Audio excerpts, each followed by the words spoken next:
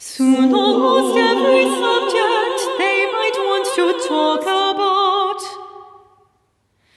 Is associated with yet another unpleasant scene. And becomes a subject they can't talk about so that as time goes by there is less and less they can safely talk but the news.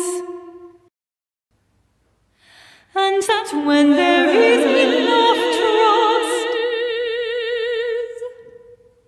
they may dare to approach even